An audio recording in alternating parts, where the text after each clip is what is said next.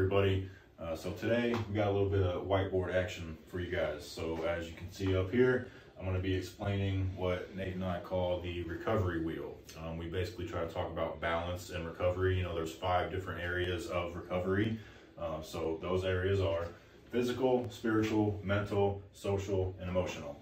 So we need to, in recovery, we need to find a way that we're actively and constantly working on all of these areas, but we have to balance it. So the reason that we do this wheel is, and I'm just gonna try to explain it to you real quick. So in the physical section, um, you know, working on your physical health. So you've got, you know, going to the gym, getting exercise, um, dieting, you can be, you know, doing yoga, hiking, riding a bike, whatever type of exercise you like. It doesn't have to be going to the gym and uh, lifting weights. You know, that's something that Nate and I like to do. But so that's what we got for physical. Um, for your spiritual health, we've got things like going to church, um, prayer, AA and NA meetings, or any 12 step meetings, um, doing meditations, uh, readings, doing devotionals, things like that. Um, for your mental health, we've got going to therapy, um, seeing a psychiatrist, making sure your medications are balanced if you have any mental illnesses like anxiety, depression, PTSD, um, anything like that. And also we put um, decompression and relaxation in there because that's something that we all definitely need. For your social health, we've got spending time with friends and family. Um, you might get enrolled in school or go back to school. Um, that's going to include work, also getting a new job, finding a job, going back to your old job, whatever the situation is, and then volunteering, spending time in the community, giving back to the community. Those are very important things also. And then lastly, we've got your emotional health. Um, so emotional, social, and mental, a lot of those things kind of go in together, um, but specifically for your emotional health, we've got, you know, working on your behavior, you know, your, your mental health and your emotional health, one of the main differences with your emotional health, that's gonna be a lot of your behavioral issues that you have that you may need to address, such as anger. Um, you also might have some PAWS, post-acute withdrawal syndrome, um, learning how to cope with things like that. and then we've also got, you know, we threw your just emotional intelligence on there. So that's just learning. And again, that can go in with going back to school. So anyways, when we look at this wheel, like I said before, you want to make sure that you've got balance in all of these areas. So what we're going to do is we're going to pretend like the middle right here, you know, say that's going to be a zero and up here is going to be a 10. And then you're going to rate how much time, effort, and energy you put in to each one of these areas. So just to give you an example, um, we'll start with physical. So for someone's physical health, say that they're, you know, they're in early recovery, they're spending a lot of time at the gym, like, you know, going every day, maybe a couple times a day, they're riding their bike, they're doing all these things, spending time doing meal preps, um, just spending a whole lot of time and energy on their physical health. So we'll say that that's probably at about like an eight or nine.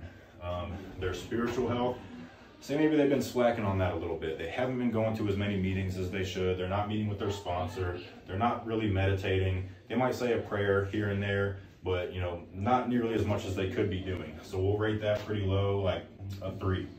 Um, their mental health, say maybe they're seeing a therapist every once in a while. They've got some medication that they're supposed to be taking, but maybe they're kind of slacking on it a little bit. They don't take it every day.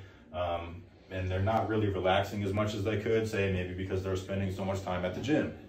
So again, we'll rate that pretty low, maybe a four. Their social health, say they're they did get a new job. Um, they haven't gone back to school or anything, but they're spending a lot of time with their friends and family. So that's going to take up a pretty good amount of time. So we'll say that's at maybe a seven or an eight also. And then their emotional health, you know, again, since that's kind of paired with their mental health, maybe they're not working on a lot of these coping skills like they should be. They're not working on their emotional intelligence. Again, if they're not seeing a therapist, those are things that can be addressed with them also. So we'll put that at, you know, four or five also. so you can see where all these all these lines are. So if we put a dot at each one, or, you know, we could use the line, but I like the dots. So you put these dots on here, and then like I said, this is called the recovery wheel, right? So if we connect these dots with the goal of having this be a wheel, as you can see, or maybe you can't see depending on the camera, this is not a wheel, right? So if you try to roll that, it's not gonna roll. You know, it's gonna roll this way one time, it's gonna fall over, and it's gonna stop. So the point of this exercise is, you know, you can't spend, you, everything can't be a 10. We don't have that much time in a day or in a week or in a month for everything to be a 10, right? So you may have to take some time away from the gym. You might have to be exercising a little bit less, so maybe you can focus on your spiritual health a little more. Maybe you start going to the gym once a day or once every other day or, you know, whatever it is. So, you know, bring that down to uh, six or so. That gives you more time to, you know, hit a couple extra meetings. Maybe go to church on Sunday. Maybe start reading some things, start meditating every once in a while. So we'll bring that up to, you know, a five or so.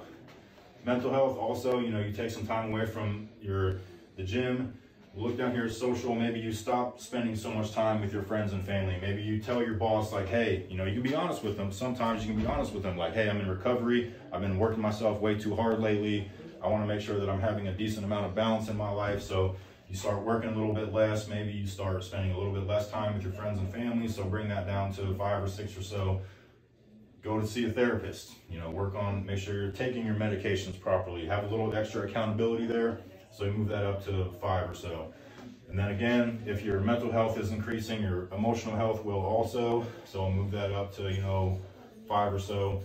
So the goal, again, is to have this wheel that will roll. Now, it's still not perfect. You know, none of us are going to be perfecting this, but you want to be working a, a decent amount in each one of these areas. So as you can see now with this, that would actually roll, right? So that's the point of the recovery wheel. Balance in recovery, working on the five areas, physical, mental, emotional, social, and spiritual. You find a decent amount of balance in those areas, you got a pretty good shot. So thank you guys for watching.